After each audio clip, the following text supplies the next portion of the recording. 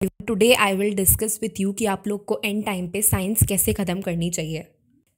Along with that मैं आप लोग को साइंस का पेपर का पैटर्न भी बताऊँगी। तो फॉर दोज ऑफ़ यू जिनको नहीं पता I am basically a science student मेरे पास एलेवन ट्वेल्थ में साइंसेस थी। एंड बट मेरे को साइंस पढ़ाते हुए ज़्यादा टाइम नहीं हुआ है। तो जितना मैंने अपने एक्सपीरियंस से सीखा है और जितना मैंने खुद के टाइम पे साइंस पढ़ी थी, उस, उसके हिसाब से मैं आप लोग को बता रही हूँ कि साइंस के अंदर आप लोग को ऐसा क्या करना चाहिए, जिससे आप लोग की लास्ट टू मंथ्स में साइंस ख़त्म हो जाए। Okay okay? तो आई थिंक आज ही मेरे पास किसी बच्चे का कमेंट आया था, उन्होंने बोला था कि मुझे समझ नहीं आ रहा है कि साइंस में क्या करना है सैंपल पेपर करना है या फिर एन e करनी है या फिर न्यूमेरिकल्स करने हैं एक्स्ट्रा क्वेश्चन करने हैं थ्योरी रिएक्शंस क्या करना है। ठीक है तो मैं आप लोग को इस वीडियो में सब चीज़ें बताऊँगी कि आप लोग को साइंस को कैसे प्रिपेयर करना है लास्ट टू मंथ्स में ताकि जो आपका स्कोर है वो मैक्सिमम आ सके। ओके सबसे पहले वीडियो के स्टार्टिंग में मैं आप लोग को पेपर पैटर्न बता देती हूँ। अभी तक मैक्सिमम बच्चों को पेपर पैटर्न तो पता ही होगा कि साइंस के अंदर बेसिकली आता क्या है। आप लोग को पता होगा कि स्टार्टिंग के फोर्टीन क्वेश्चन जो हैं, वो वन मार्क क्वेश्चन होते हैं या फिर वेरी शॉर्ट क्वेश्चन होते हैं जिसके अंदर आप लोग को एक एक लाइन के आंसर लिखने होते हैं। इसके अंदर आप लोग को अगर एमसीक्यू है तो वेल एंड गुड वरना आप लोग को एक दो लाइन के अंदर आंसर लिखने होते हैं। ठीक है, उसके बाद आप लोग के सेक्शन बी में आते हैं अराउंड टेन क्वेश्चन जिसके अंदर आप लोगों को थ्री मार्क्स का एक क्वेश्चन होता है और फिफ्टी सिक्सटी वर्ड्स में आंसर देना पड़ता है ओके उसके बाद आप लोग के छः क्वेश्चन आते हैं विच इज़ लॉन्ग क्वेश्चन ठीक है? छः क्वेश्चन आते हैं, पाँच मार्क का एक क्वेश्चन होता है, ठीक है? जिसके अंदर आप लोग को answer hundred to one twenty words में देना होता है ओके तो ये तो था कि आप लोग का पूरा का पूरा पेपर पैटर्न अच्छा। पेपर पैटर्न के बाद प्लीज़ मेक श्योर कि आप लोग ये वीडियो पूरा देखें, क्योंकि वीडियो के एंड में मैं आप लोग को कुछ इंपॉर्टेंट चीज़ें बताऊँगी इंपॉर्टेंट ऐसी पाँच चीज़ें बताऊँगी जिसको करने से आप लोगों के साइंस का स्कोर हंड्रेड परसेंट बूस्ट होगा। ओके देखो, इस वीडियो में मैं आप लोग को कोई भी फॉल्स इन्फॉर्मेशन नहीं दूँगी कि ये कर लो, ये कर लो। मैं आप लोग को वही इन्फॉर्मेशन दूँगी जिस इन्फॉर्मेशन ने मेरे को खुद को बेनिफिट किया था, जिन टिप्स ने मेरे को खुद को बेनिफिट किया था मेरे टाइम पे, या फिर अभी मेरे स्टूडेंट्स को वो टिप्स बेनिफिट कर रही हैं। ओके तो प्लीज़ मेक श्योर कि जो भी मैं आप लोग को टिप्स बताऊँ, आप लोग उसको फॉलो कीजिए right firstly coming to biology देखो बायोलॉजी के अंदर आप लोग के इस बार ऐसे चैप्टर्स हैं जिनके अंदर डायग्राम्स ज़्यादा हैं, ठीक है? तो प्लीज़ मेक श्योर देखो नाइन्थ में भी डायग्राम्स थे बट नाइन्थ में आप लोग के बोर्ड्स नहीं थे। ठीक है तो बट इस साल आप लोग के पास बोर्ड्स हैं। तो आप लोग सबसे पहले बायोलॉजी में मेक श्योर sure करेंगे कि आप लोग डायग्राम्स की प्रैक्टिस करें। ओके उसके बाद आप लोग को बायोलॉजी में ये मेक श्योर sure करना है कि अभी जितना भी टाइम बचा है, आप लोग जो भी चैप्टर बायोलॉजी में रिवाइज कर रहे हैं, उस चैप्टर के डिफ़िकल्ट वर्ड्स को लिख के देखें। ओके एंड टाइम पे आप लोग कोई भी एक्स्ट्रा बुक्स का सहारा मत लो। कोई भी ऐसे मत समझो कि मैं ये वाला बुक कर लूँगी या ये वाली बुक कर लूँगी तो फिर आप लोग को बेनिफिट मिलेगा। नहीं।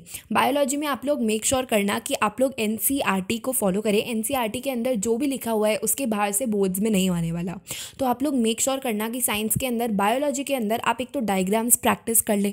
जो भी चैप्टर कर रहे हैं, उसके साथ ही आप लोग को डायग्राम्स प्रैक्टिस करने हैं।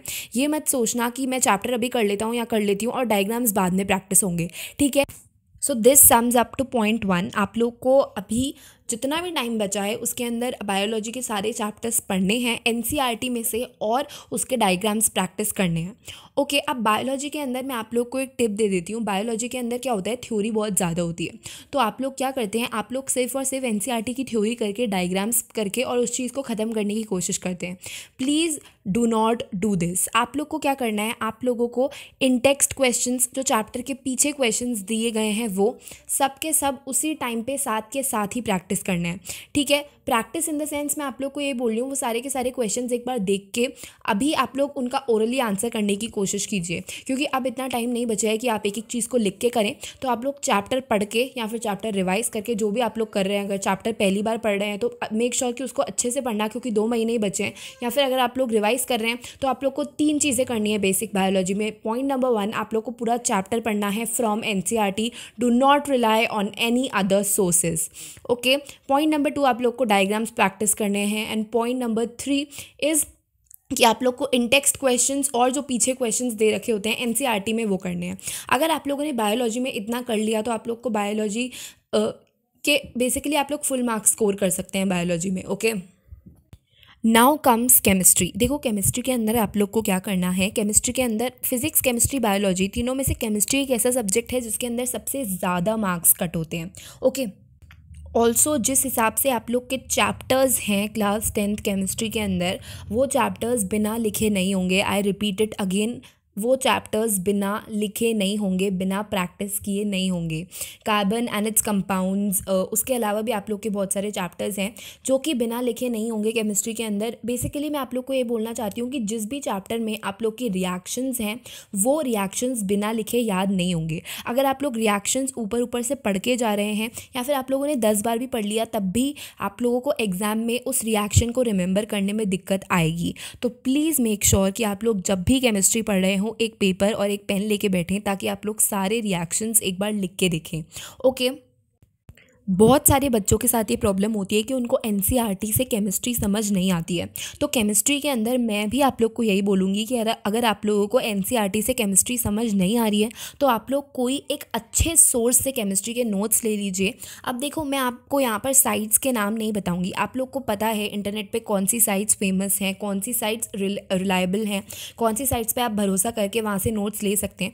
इंटरनेट पर बहुत सारी फ्री साइट्स आप लोग को मिल जाएँगी या फिर अगर आप लोग के पास बुक भी है, कोई तो अच्छी बात है केमिस्ट्री की। लेकिन आप लोगों को सिर्फ़ मेक श्योर करना है कि जिन नोट्स से आप लोग केमिस्ट्री पढ़ रहे हैं, वो नोट्स के अंदर वो सारी इन्फॉर्मेशन हो जो कि एन e में है।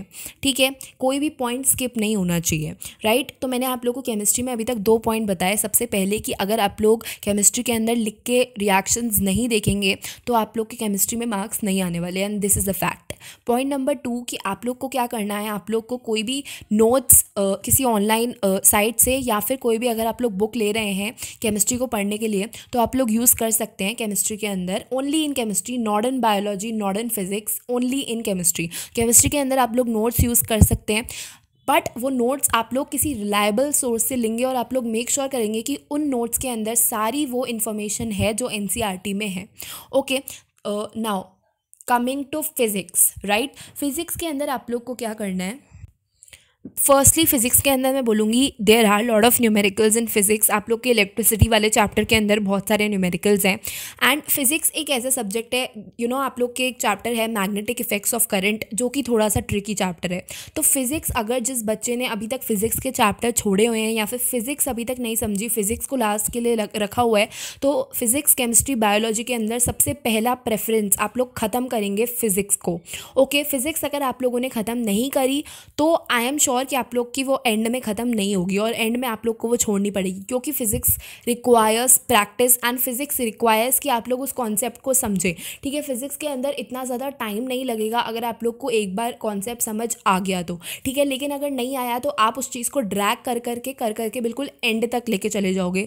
तो फिज़िक्स के अंदर मेक श्योर करना कि आप लोग सबसे पहले फिज़िक्स को ख़त्म करें एंड फिज़िक्स के अंदर प्रैक्टिस न्यूमेरिकल्स अच्छा अब न्यूमेरिकल्स कोई भी फालतू न्यूमेरिकल्स मत प्रैक्टिस करने लग जाना। There are lot of books which claims कि ये वाले न्यूमेरिकल्स करो, ये बोर्ड्स में आएँगे, ये बोर्ड्स में आएँगे। सिर्फ़ आप लोग को वही न्यूमेरिकल्स करने हैं, उसी पैटर्न पे न्यूमेरिकल्स करने हैं जो कि एन e में दे रखे हैं राइट एन e में जो न्यूमेरिकल्स दे रखे हैं, आप लोग वो कर लीजिए। उसके अलावा you will do previous year papers ठीक है? प्रीवियस ईयर पेपर्स के बारे में मैं आप लोगों से एंड में बात करूँगी बट अभी आप लोग को कोई भी किसी भी बच्चे को ये नहीं करना है कि किसी भी फालतू सोर्स से न्यूमेरिकल्स लेके कर लिए। No what you need to do right now is N के न्यूमेरिकल्स ओके तो देखो, ये तो मैंने आप लोग को बता दिया कि आप लोग को अपना साइंस का जो कोर्स है वो कैसे ख़त्म करना है। अगर आप लोग की फ़िज़िक्स बची हुई है, सबसे पहले फ़िज़िक्स करो देन बायोलॉजी और केमिस्ट्री के अंदर यू कैन डिसाइड कि आप लोग का क्या ज़्यादा बचा हुआ है तो उस हिसाब से वो कर लो। ओके नाउ देखो, अब अगर आप लोगों की फ़िज़िक्स केमिस्ट्री बायोलॉजी तीनों की एन e ख़त्म हो चुकी है एन e के क्वेश्चंस हो चुके हैं। आई फॉरगॉट टू मेंशन कि आप लोग को एन e के क्वेश्चंस केमिस्ट्री में भी करने हैं, ठीक है?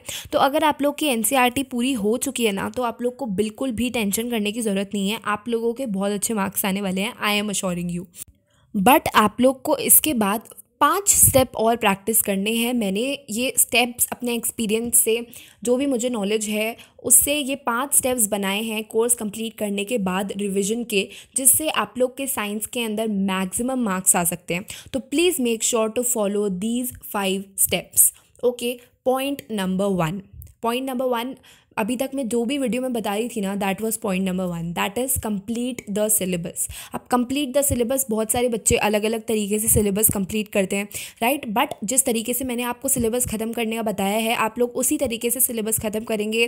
प्लीज़ डोंट लीव एन ठीक है?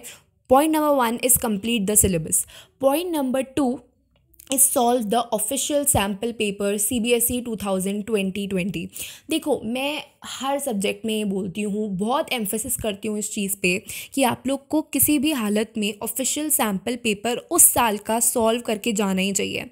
ठीक है? क्योंकि आप लोग को क्या होता है कि uh, ऑफिशियल सैंपल पेपर से जो आप लोग का एग्ज़ाम में पेपर आने वाला है, उसका पूरा का पूरा आइडिया मिल जाता है कि किस पैटर्न पे पेपर आएगा। इतने मार्क्स के क्वेश्चन इतने नंबर्स में आएँगे, उसके अंदर ये लिखना होगा। तो पॉइंट नंबर टू इज़ आप लोग दो तीन बार ऑफिशियल सैंपल पेपर प्रैक्टिस कर लेना। ओके साइंस के अंदर मैं दो तीन बार इसलिए बोल रही हूँ क्योंकि science really require lot of practice okay point number three to complete revision is आप लोग को क्या करना है? आप लोग को, अगर आप लोग साइंस का रिविजन कर रहे हैं तो आप लोग को दोबारा से स्टार्टिंग से लेकर एंड तक हर चैप्टर के एन e के इंटेक्स्ट क्वेश्चंस और एन e के जो क्वेश्चन एंड आंसर्स होते हैं, वो सॉल्व करने हैं। ठीक है? ये जो प्रोसेस है, ये थोड़ा सा लंबा है। देखो कोर्स कंप्लीशन के बाद आप लोगों ने ऑफिशियल सैंपल पेपर कर लिया। उसके बाद आप लोग को साइंस के अंदर रिविजन करना पड़ेगा। अगर आप लोग साइंस के अंदर रिविजन नहीं करेंगे तो आप लोग बहुत सारी चीज़ें भूल सकते हैं। आप लोग को हर एक आंसर लिखने की ज़रूरत नहीं है, पर आप लोग मेक श्योर करना कि आप लोग ओरली सारे चैप्टर्स के इंडेक्स क्वेश्चंस और क्वेश्चन एंड आंसर्स एनसीईआरटी के दोबारा से प्रैक्टिस कर लें। Now point number four is solve at least ten sample papers in science science के अंदर एक मेजर बात होती है कि आप लोग को सैंपल पेपर सॉल्व करने ही होते हैं। ताकि आप लोग को न्यूमेरल न्यूमेरिकल्स का आइडिया आ जाए, ठीक है? ताकि आप लोग को उन चीज़ों का आइडिया लग जाए जो कि कभी कभी एन से बाहर भी पूछ ली जाती हैं। Previous year paper will give you the idea of all the questions कि कैसे टाइप के क्वेश्चंस आप लोग के सीबीएसई बोर्ड्स e में पूछे जाते हैं। देखो सीबीएसई बोर्ड e में साइंस के अंदर रीजनिंग क्वेश्चंस भी पूछे जाते हैं ठीक है? और कभी कभी कुछ क्वेश्चंस uh, को ट्विस्ट करके भी पूछ लिया जाता है। तो अगर आप लोग एटलीस्ट दस साल के सैंपल सॉरी एटलीस्ट दस साल के प्रीवियस ईयर पेपर्स भी कर लेंगे तो you will have an idea कि आप लोग का पेपर कैसे आता है साइंस का कैसे करके आप लोग को क्वेश्चन में रीजनिंग भी पूछ ली जाती है कभी कभी ऑल्सो कभी कभी जो न्यूमेरिक न्यूमेरिकल्स हैं, वो एन e के बाहर के आ जाते हैं फिज़िक्स के अंदर। बट अगर आप लोग लास्ट टेन ईयर्स के पेपर कर लेंगे तो एवरीथिंग विल बी सॉर्टेड ठीक है? आप लोग को आइडिया लग जाएगा कि आप लोग के कैसे क्वेश्चंस आने वाले हैं पेपर में। तो अब आप लोग यहाँ इस चीज़ का बिल्कुल ध्यान रखना कि मेक श्योर sure करना कि जो जो भी आप लोग प्रीवियस ईयर पेपर कर रहे हैं, वो पूरा का पूरा पेपर करें ओके फॉर एग्ज़ाम्पल क्या होता है ना कि we see a question in a question paper previous year question paper के अंदर आप लोग क्वेश्चन देखते हैं। आप लोग सोचते हैं कि हाँ ये तो मैं लिख लूँगा या फिर ये तो मैं लिख लूँगी। बट आप लोग उसका आंसर जो है वो दिमाग में सोचते नहीं है। What you need to do आप लोग को उसका पूरा आंसर दिमाग में सोचना है। Right this trick applies for each and every subject but science के अंदर आप लोग को सैंपल पेपर थोड़े से ज़्यादा करने हैं। दो सब्जेक्ट्स के अंदर साइंस और मैथ्स आप लोग को सैंपल पेपर एटलीस्ट टेन करने हैं। मतलब दस तो करने ही करने हैं हर बच्चे को। मैं अब ये नहीं बोल रही हूँ, ठीक है? इधर आपको कि आप लोग को सैंपल पेपर सारे लिख लिख के करने हैं या फिर प्रीवियस ईयर पेपर्स पूरे लिख लिख के करने हैं? नो प्रीवियस ईयर पेपर्स या फिर सैंपल पेपर्स आप लोग जो भी कर रहे हैं अकॉर्डिंग टू मी आप लोग को प्रीवियस ईयर पेपर्स ही करने चाहिए, क्योंकि previous year papers are more beneficial तो जो भी आप लोग कर रहे हैं लिख लिख के मत कीजिए। आप लोग ओरली कीजिए भले, क्योंकि इतना टाइम नहीं होता है हर बच्चे के पास लिख लिख के करने का। ओरली कीजिए बट पूरा सॉल्व कीजिए। जो चीज़ों के अंदर लिखना रिक्वायरमेंट ही है फॉर एग्ज़ाम्पल न्यूमेरिकल न्यूमेरिकल के अंदर आप लोग को उस चीज़ को सॉल्व करना ही है तो उस चीज़ को सॉल्व करिए। बट बाकी पूरे पेपर को आप लोग को जस्ट एक बार माइंड में सिर्फ़ you need to think okay now the last point that is point number five is chill guys मतलब कि मैंने इस चीज़ को as a separate point include इसलिए किया बिकॉज़ आई नो कि आप लोगों को सबको बहुत टेंशन है अपने बोर्ड्स की, अपने रिज़ल्ट की बट आई नो कि आप, अगर आप लोग ये वीडियो देख रहे हैं तो हर बच्चे ने पूरे साल साइंस पढ़ी है। हर बच्चे ने कॉन्सेप्ट समझे हैं, हर बच्चे को बहुत सारे चैप्टर्स के बहुत सारे कॉन्सेप्ट याद हैं। तो अगर आप लोग अभी दैट इज़ लास्ट के दो महीने बचे हैं अगर आ, आप, आप लोग अभी पैनिक करोगे तो आप लोगों के बोर्ड्स मैं सिर्फ़ साइंस सब्जेक्ट की बात नहीं कर रही हूँ आप लोग के पूरे बोर्ड्स डिस्टर्ब हो जाएँगे।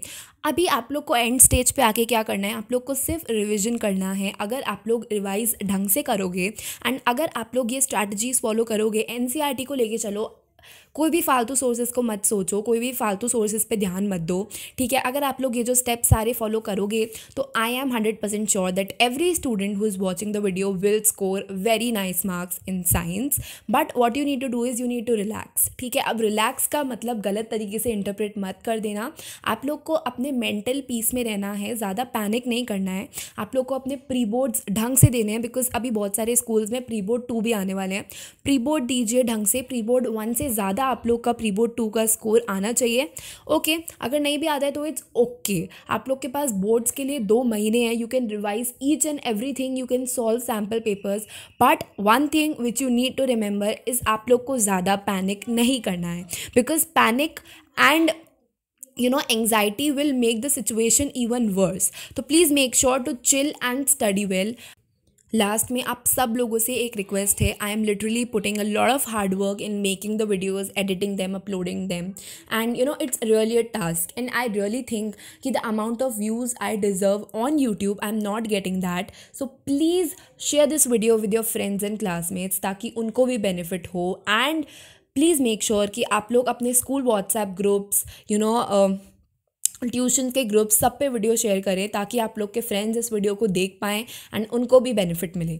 Okay please it's a request आप लोग के एक शेयर के बटन दबाने से it really really really means a lot for me so please do that for me and thank you and have a nice day